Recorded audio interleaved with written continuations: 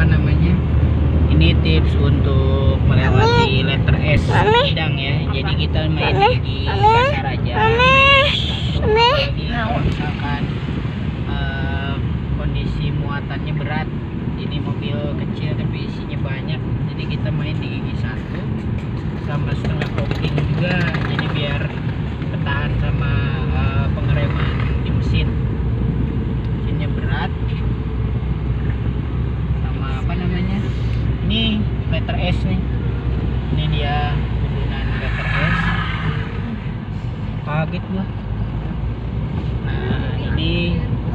Kadang orang kalau nggak tahu di sini cepet gitu. jadi banyak yang terguling mengguling pigulitik gitu.